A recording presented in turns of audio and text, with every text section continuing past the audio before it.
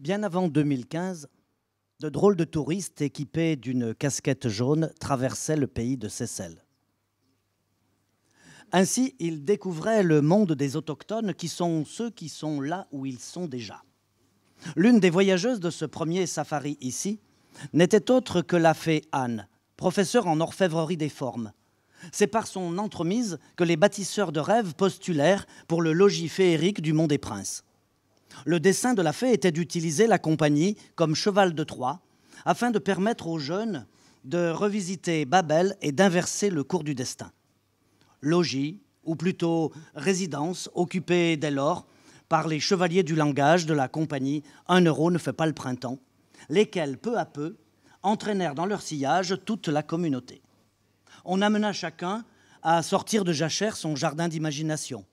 Atelier d'écriture, Éruption poétique en classe ou en études, papillons d'expression se posant sur les épaules même des plus récalcitrants, les amenant à participer au plus long poème jamais écrit dans un collège, plus de 30 mètres de poésie. Et bien sûr, des safaris ici, afin d'ouvrir leur regard sur le monde. Un étrange laboratoire de dissection et de poétisation des mots vit le jour, en plein cœur du collège, attirant le chaland de l'intérieur comme celui de l'extérieur. Sur des étagères, d'étranges bocaux conservaient dans du formol des spécimens rares de mots. Les alchimistes du lieu travaillaient en quelque sorte à ciel ouvert à une curieuse expédition, un voyage au centre du mot. Parmi les expérimentations présentées, on pouvait apercevoir un lisseur de mots tordus ou même une presse métaphorique. Bref, il s'agissait de rendre tout un chacun amoureux de la langue. Outre les élèves dont le large sourire à l'approche d'un chevalier du langage s'accompagnait d'un joyeux bonjour, les premiers convertis étaient d'un côté plutôt ceux qui enseignaient les humanités et d'un autre ceux qui avaient en charge l'entretien et le nourrissage de la communauté. En juin 2015, avec le charivari poétique et musical, les professeurs, les yeux embués de larmes, constatèrent les métamorphoses de plusieurs jeunes dont il ne soupçonnait ni le potentiel littéraire, ni la capacité à oser déclamer en public. Dame Omna, dont la tâche était de transmettre les épisodes du temps et les propriétés de l'espace, demanda par quelle magie on avait bien pu changer le plomb en or. Deux formations pour les professeurs du collège et des écoles furent mises en place. Il fut proposé de vivre différents ateliers d'écriture. Mon petit bal, au carrefour de la littérature et de l'histoire de la Seconde Guerre mondiale, machines imaginaires à la croisée des sciences technologiques, des arts plastiques et du français, on s'aperçut que même mathématiques et poésie pouvaient se marier. L'idée que les champs des lettres, des langues, des techniques et du vivant pouvaient se croiser et, donner d'heureux dénouements faisait son chemin.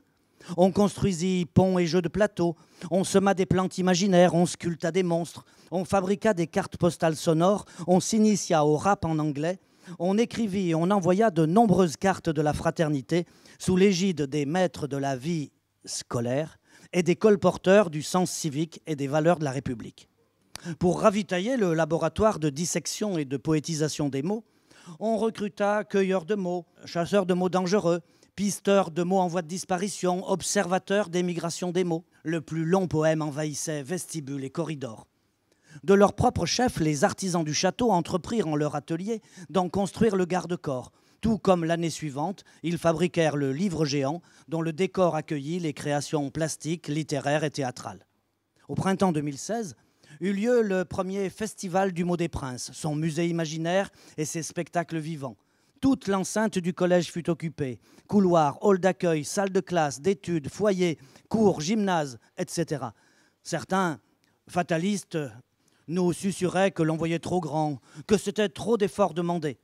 Mais nous avions pris soin, en amont du grand rendez-vous, de recruter plus de 100 assistants, aménageurs d'espace, offreurs de sourires, facilitateurs de convivialité, préposés à la confiance.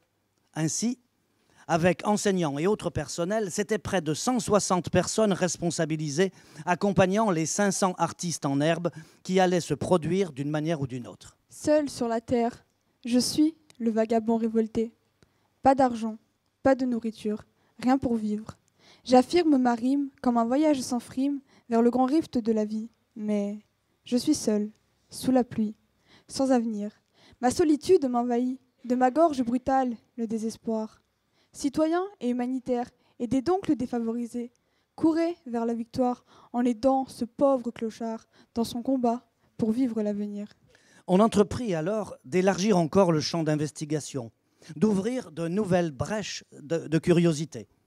Après quelques rencontres entre bâtisseurs de rêves et acteurs du territoire, sous l'autorité bienveillante de l'éminent mousquetaire autrement nommé principal, se préfigure une extension de résidence auprès des écoliers, de leurs familles, des jeunes lycéens de la maison familiale rurale et de tout le territoire.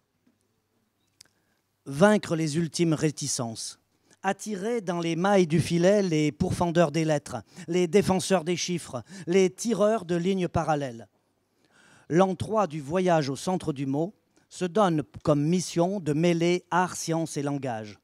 Tous les acteurs unirent leurs efforts sous la devise apprendre à jouer avec les mots pour qu'ils ne se jouent pas de nous.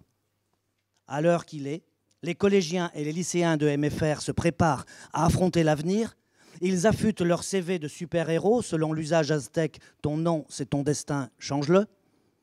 Les nouvelles troupes de cycle 3 étudie Cécile au fil de l'eau, au fil du temps, au fil des hommes. Rien n'est laissé au hasard. Il faut aussi maîtriser les médias. Les quatrièmes ont relevé le défi écrire un journal en un jour. Les cinquièmes, dans une nouvelle odyssée, ont traversé le paradis et les enfers, ce qui devrait les conforter dans leur capacité à déjouer les pièges du langage. Malgré quelques hésitations, les EPI largement anticipés ici depuis plusieurs années sont en ordre de marche. Voilà, c'est fait. Bientôt le deuxième festival du Monde des Princes. Parmi tous les projets présentés, la poésie rencontrera aussi sur scène les mathématiques. Timidité repoussée, curiosité restaurée, on peut à nouveau se comprendre. On a d'ailleurs surpris quelques élèves en train de se demander Est-ce que le chant des oiseaux a influencé l'apparition du langage? Question auxquelles répondra bientôt le sieur Marsico, docte érudit du laboratoire de dynamique du langage du CNRS de Lyon.